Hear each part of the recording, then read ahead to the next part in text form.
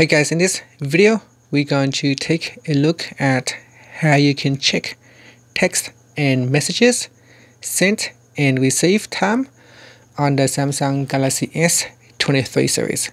First, let's go back to the home screen by tapping on the home button at the bottom of the screen.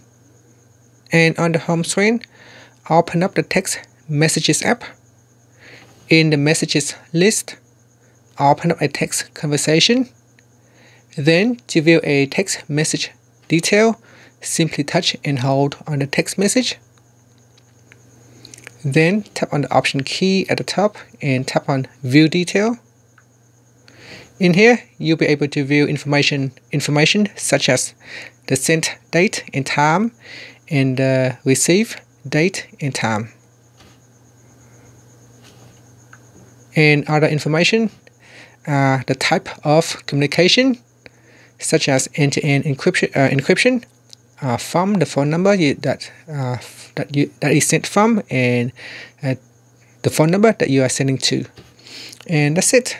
And that is how you can view your message detail with the sent or receive time information.